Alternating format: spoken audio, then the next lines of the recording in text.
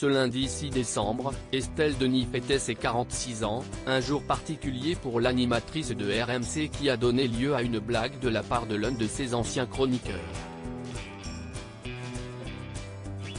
Mais quelle CN, visage avec des larmes de joie, visage avec des larmes de joie.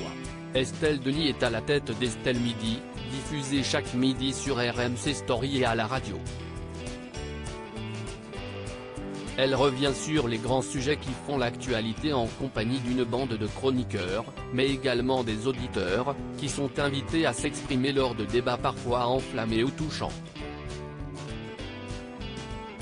Mais ce midi, la production de l'émission avait décidé de piéger son animatrice. Estelle Denis piégée pour ses 46 ans Si vous aviez manqué la nouvelle, la voici, Estelle Denis a fêté son 46e anniversaire ce lundi 6 décembre. Une journée spéciale pour la native parisienne, qui a débarqué sur RMC l'an dernier avec un certain succès.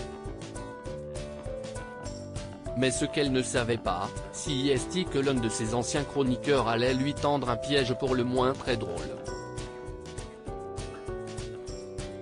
Lors d'un sujet consacré au fait de se mettre en couple avec un ami, elle a ainsi reçu l'appel d'un certain Daniel Desardennes. L'auditeur en question commence déjà par dire tout le bien qu'il pense d'Estelle Midi, déjà pour vous dire que j'apprécie beaucoup l'émission. Pour vous faire de l'audience, je regarde à la télévision et en même temps, je vous écoute à la radio, explique-t-il. Ravi, Estelle Denis le félicite, avant de l'inviter à parler du sujet mis sur la table, non, je déconseille de se mettre en couple avec une amie. J'ai essayé de me mettre en couple avec une amie. Enfin, c'était une amie de ma femme, déclare-t-il. Mais la journaliste, face à cet auditeur un peu bizarre, de son propre aveu, ne se laisse pas démonter, si est-il un autre sujet là, si est-il l'adultère, bonne ou mauvaise idée? Là, ce n'était pas votre ami en fait. Je suis juste déçu parce qu'elle ne m'a pas reconnu mais Daniel Desardennes n'en mort pas, mais moi, je suis très ami avec une animatrice de télévision, mais je pense que même sur un malentendu, je ne pourrais pas conclure, vous voyez? Renchérit-il.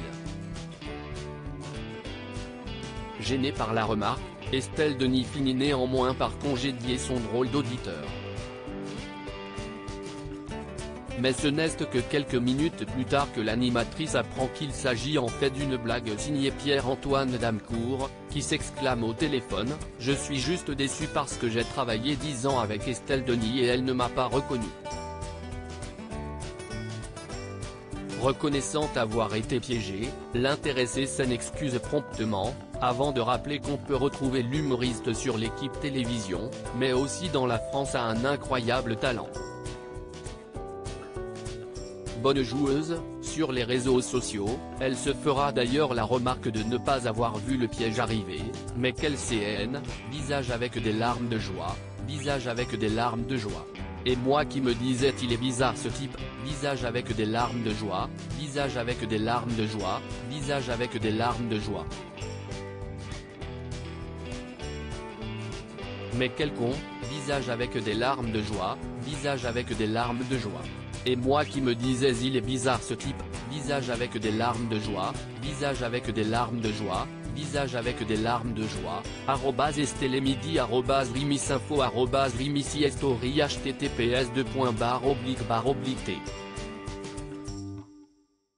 Kopkanavip Dave, Estelle Denis arrobas Denis Estelle, December 6, 2022 à lire aussi à d'accord, Estelle Denis très surprise par les révélations d'un auditeur de RMC Story sur l'adultère.